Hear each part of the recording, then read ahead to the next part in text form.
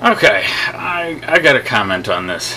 Now, I don't agree with everything Bionic Dance says. I, I think she makes a lot of good points, and I, I definitely don't disagree with everything that you're saying here.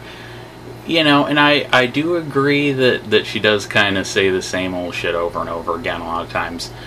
Um, but you seem to be kind of confused about what atheist means. Um, it really is just not a theist. Um, and and I'm going to give you an example here of your own words, uh, kind of showing that you seem to be contradicting yourself and you're not entirely sure what atheist means. Just just take a look at this in case you don't remember. You don't have to be an atheist to not believe in a god or gods. I'm an agnostic atheist. I am an atheist who does not know. I lack a belief in a god or gods because of no substantial evidence that has ever been brought forth that would suggest the existence of a deity.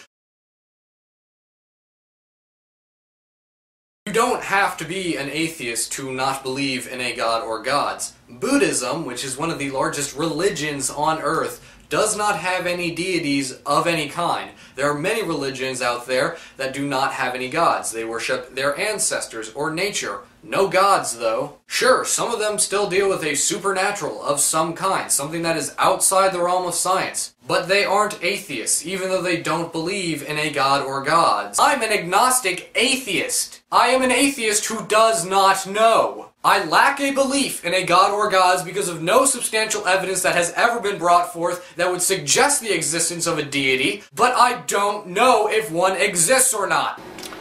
So there we have it. Um, you're saying that uh, Buddhists aren't atheists, even though they don't believe in a god or gods, but you're an atheist because you don't believe in a god or gods. Um, that's a little bit contradictory there, and you, you don't seem to understand what atheism is. It's not a lack of religion, it's just that lack of God belief. So you were right one of the times, but not the other time. Now, why don't we call Buddhists atheists? Well, because we have a better description for them. That's the word Buddhist.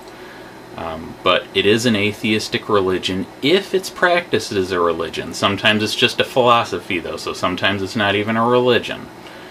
Um, but it, you make the mistake I, I see a lot of people make where they want to make the word atheist or atheism mean more than what it is. It doesn't mean rationalism. It doesn't mean that you don't have a religion or anything like that. It just means that you don't have a belief in a god or gods. That's it.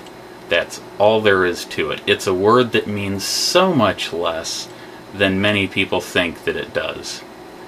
Um, at, at its most basic, it's just not a theist. I I don't understand what's so hard about that. And you know, I I do get it that some you know, for for some things we we do have a a better, more specific word for it.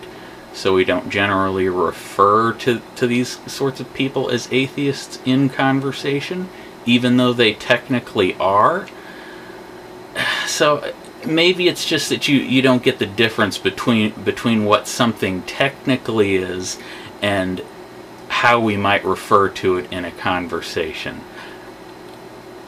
Um, but you know, like I said, I I do agree with uh, some of your points in the in the video, but it seems like you just go off on this long rant uh, with a, a contradiction right in the middle of it that that just makes it look silly.